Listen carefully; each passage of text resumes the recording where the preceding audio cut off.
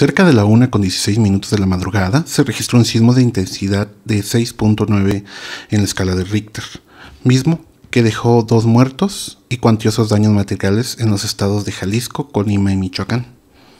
El Sistema Sismológico Nacional informó que se registró un sismo con magnitud de 6.9 grados en escala de Richter, localizado a 84 kilómetros al sur de Cualcomán, y este se habría registrado a la 1.16 con 9 segundos, con una latitud de 18.1 y una longitud de menos 103.18, con una profundidad de 12 kilómetros.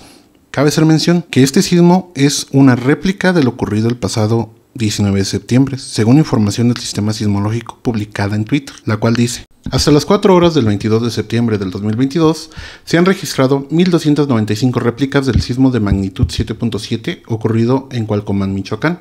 el 19 de septiembre de 2022, la más grande de magnitud 6.9. En tanto, autoridades del estado de Michoacán se encuentran realizando la evaluación de daños, así como las tareas de recolección de información sobre las afectaciones que generó el siniestro. Aunado a esto, el presidente de la República confirmó la muerte de dos personas en la Ciudad de México, así como cuantiosos daños materiales en los estados de Colima, Jalisco y Michoacán. Reportó para 90 grados Bertín González.